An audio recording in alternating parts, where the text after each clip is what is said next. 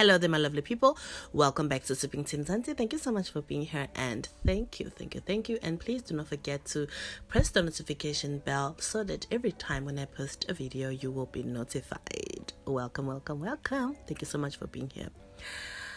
Uh, there's Miss XO and she's trending again and this time not only for her botched nose that she went to buy i have no idea where but I'm, I'm suspecting it was one of these asian countries because if you look at all these asian celebrities child they have this strange nose that looks like some sort of alien. Anywho i'm not one to gossip. Also not trending for the fact that she is um, known for wearing fake um, luxury brands. Now she is actually trending because she said that she is saved. She's a Christian now.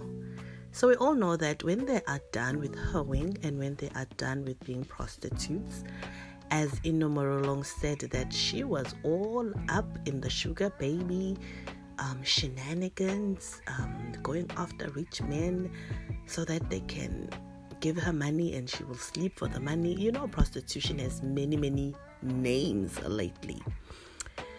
But what I want to talk about is the fact that she's saved and she wants everybody to stop talking about her hoish ways because now, if you are going to be talking about her past, that is just you and she is no longer that person because we grow every day and get that's what they say we grow we become different. I'm not the same person i was four months ago. I'm not the same person i was a month ago. So now i'm saved. I'm no longer a bitch.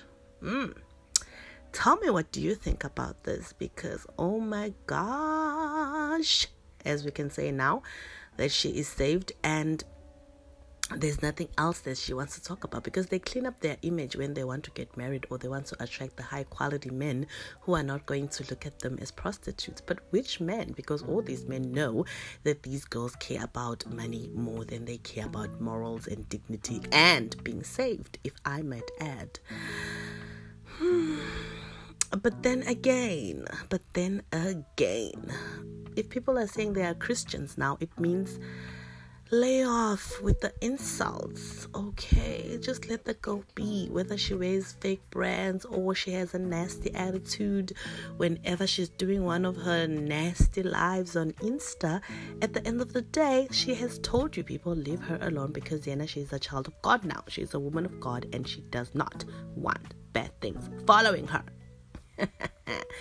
Anyways, please do not forget to subscribe and ring the notification bell because I am back with the tea and the tea is piping hot. Mwah.